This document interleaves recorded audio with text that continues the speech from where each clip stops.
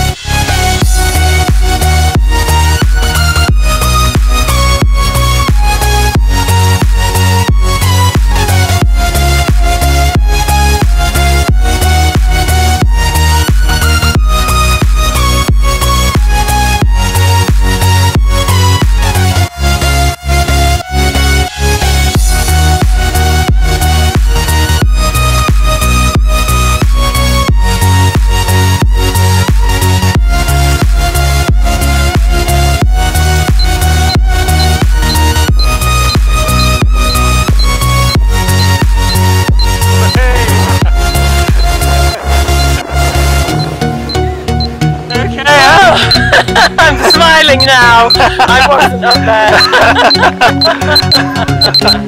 Thank you so much. Okay, Anne. Well done.